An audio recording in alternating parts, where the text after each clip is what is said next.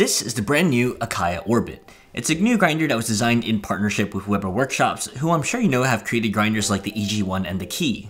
Now, I was lucky enough to hop in on the first run of units limited to the US, and I did pay the full retail price of this grinder, which is $1,350 plus 40 bucks of shipping. This is by far the most expensive grinder I've ever owned and used. Now before we get into it, it looks like the majority of you aren't subscribed, so if you are new to the channel and like all things coffee, do consider dropping a like and subscribing for more high quality coffee content. Also leave a comment below on what you'd like to know more about this grinder for the full review.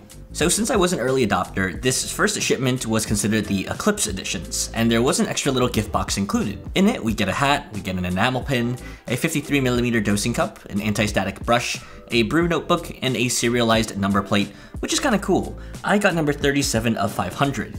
My friend Raymond from FDM by Optikal Blitz got number 1 of 500. Extra cool. Online, they do also state that you get an extended 18-month product support. So at the time of recording, it's been just a couple days since I've actually first unboxed this grinder. I've had just a little bit of time to play with it and put together some initial thoughts into a more cohesive format. Now, I also did wait a few more days because I actually needed to purchase a 2021 model Acaia Lunar. Yes, the old Lunar does not work with this grinder.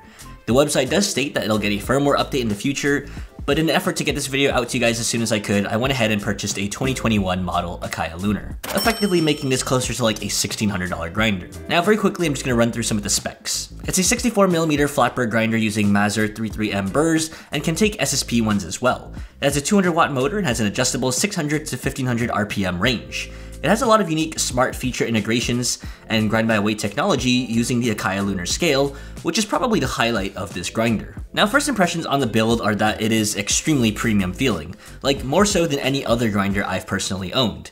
This thing feels like a space gray MacBook, I do like the included magnetic strips that stick onto the dosing cup and the lunar, and the magnetic attachment is very satisfying to use, and it just makes things look nice and aligned. The grinder has a very clean overall design, everything's machined very well, and everything just feels good to use. Even the little knocker here is pretty satisfying to use. One thing I'm not a huge fan of is that there is a little touch point sticker here, and simply because it's a sticker. Another thing I do wish was different was that the hopper was metal instead of plastic. For a grinder where this piece sort of sticks out very prominently, the glossy flat black plastic feeling is just not very premium and feels a little bit cheap. A nice metal one would have definitely been cool to see here. So now let's talk a little bit about the smart integrations. Firstly, you can do most of the programming on the grinder itself without the need for the Lunar or phone app. There are different colors that this LED button will light up in to indicate the different grinding modes, aka the different presets and changeable RPMs. The app itself definitely makes it a little bit more clear and includes a nice graphic generated with each grind, telling you in seconds how long the grind took as well. Without the Lunar, aka just in single dosing mode, the grinder will grind through the dose and then do an automatic purge at a higher 2000 RPM, first forwards and then backwards, if I'm not wrong. With the Lunar attached to it, you can grind by weight. So in this shot, I'm just going to be dumping in a bunch of beans and hitting go, and it'll dispense the exact amount, or at least very close to, that I wanted. In this case, 16 grams. Now, I have noticed occasionally there is some inconsistency. I had one dose that came out closer to 17 grams, but Steve from the Acaia team told me that the grinder adjusts for the next dose and will aim to get closer to the planned dosage, which I generally found to be true. In most cases with the grind by weight technology, the doses were within 0.2 grams of my 16 gram goal. There is a little bit of static, but it's really not that bad, despite not doing any RDT at all.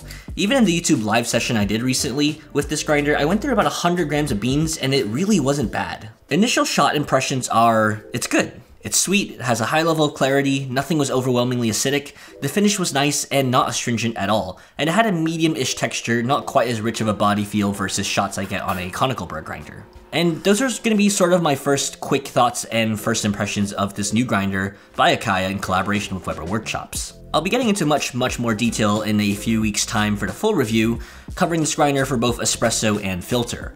Once again, be sure to leave any comments or questions in the comment section down below so that I can answer those for the full review. And as always, if you enjoyed, be sure to drop a like, subscribe if you haven't already, and I'll see you in the next one.